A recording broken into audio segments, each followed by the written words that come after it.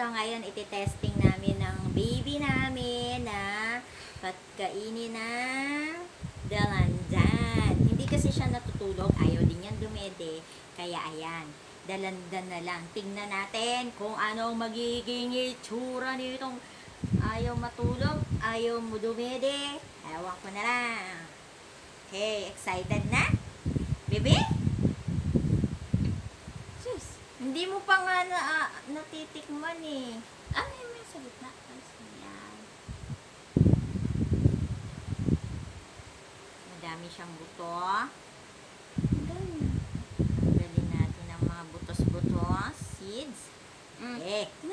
Ah, bebe. Sus, hindi na na-assume. Doon na siya nakatingin. Ah. Smell. Mm. Sus.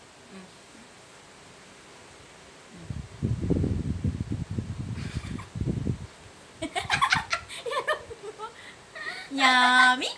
Yummy. Sige pa, bigyan mo Mm. pa. Mm. Eee.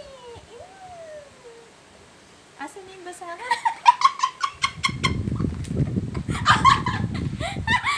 Ayaw mo dumede, ha? Mm, sige. Mag-vitamins ka na lang. More! Mm. Ano yan, bebe? Daddy lang! Daddy, Pinakain ano? sa'yo. Sige pa, sige pa. Baka More? ano yan sa ano ma, ugam. Kaya ayaw yung dumiti.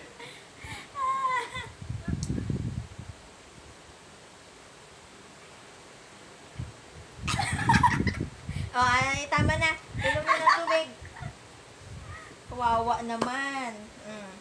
Mm. Sige na, water. Susunod, lemon next month. Ah, Bebe Ash.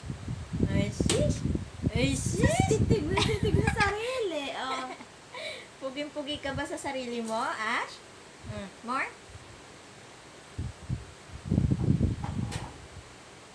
Mm. Tama na. Yan. Ah, ano na? Bye-bye time na. Bye-bye time